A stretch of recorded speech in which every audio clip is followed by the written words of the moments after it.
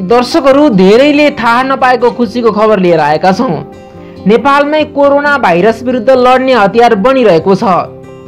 त्रिभुवन विश्वविद्यालयको केन्द्रीय क्याम्पस परिसरमा पछिल्ला दिनमा मानिसको आवत जावत बढिरहेको छ। दैनिक नै एक दर्जन बढी एम्बुलेन्स त्यहाँ पुग्छन् केही समय बस्छन् र लगत्तै फर्कन्छन्। कहिले नेपाली सेनाका सवारी पुग्छन् त कहिले सशस्त्र प्रहरी बलका। कहिले नेपाल प्रहरीका सवारी हान्निँदै पुग्छन्।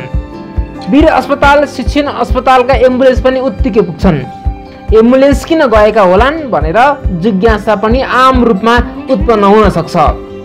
विश्व स्वास्थ्य सङ्गठन र सरकारले तय गरेको मापदण्ड विपरीत गएर पनि गएर भने विश्वविद्यालय परिसरमा कुनै भिडभाड गरिएको छैन। आखिर के छ त विश्वविद्यालय परिसरमा? जवाफ सहज छ। राष्ट्रिय आविष्कार केन्द्र। नेपालको ग्रामीण क्षेत्रमा दूरसञ्चार सेवा पुर्याउने लगायत राष्ट्रिय तथा अन्तर्राष्ट्रिय क्षेत्रमा ख्याति कमाएका महावीर पुनले विश्वविद्यालय परिसरमा नै केन्द्र स्थापना गरेका छन्। केन्द्रमा आजकाल दैनिक बिसजना दिन रात नभरी काम गरिरहेका छन्।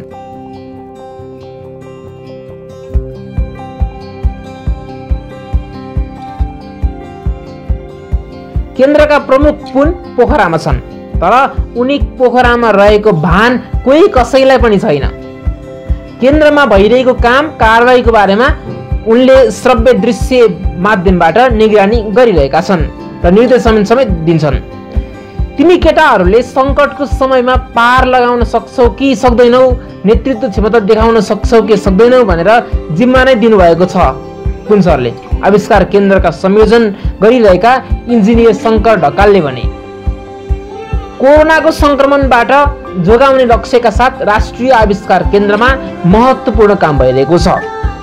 विश्वव्यापी रूपमा नै कोरोनाको महामारी बढ्दै गएको बेला स्वास्थ्य कर्मीलाई आवश्यक पर्ने व्यक्तिगत सुरक्षा सामग्री पिपिई उत्पादन गरिरहेको छ केन्द्रले।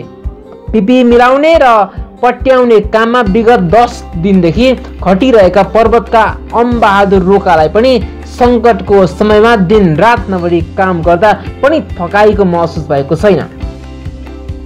कोभिड उन्नाइस लागेका मानिसका लागि खाना औषधि पुर्याउन रोबोट बन्दैछ।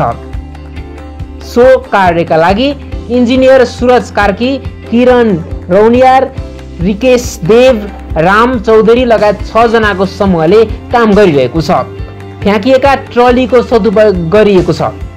बाहिरबाट माल सामान ल्याउनु पर्ने बाध्यता पनि छैन। फ्याँकिएका सामान नै प्रयोग गरेर रोबोट तयार हुँदैछ।